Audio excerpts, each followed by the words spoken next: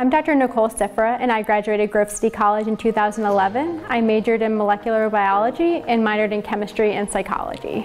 I'm a resident in pediatrics at Strong Memorial Hospital and Golisano Children's Hospital in Rochester, New York.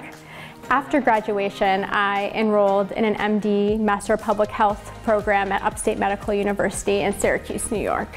So I knew that I wanted to go to a, a smaller, medium-sized liberal arts school. I didn't want to go to a big university. I visited the school and really liked it. I was really impressed by the um, amount and degree of training in the basic sciences. The biggest reason that I'm so happy that I chose Grove City College is that it prepared me really well for what I had planned in the future, which for me was a career in medicine.